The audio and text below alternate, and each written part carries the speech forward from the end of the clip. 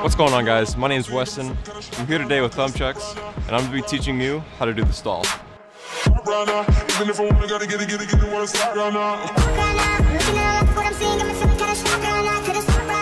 The stall is dead simple and it starts in top grip. You're going to give one chuck a slight throw forward and then you're going to dip your hand to cancel out the chuck's momentum.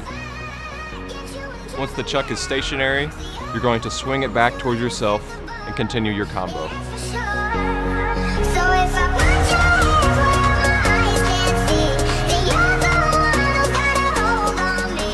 And that is the stall.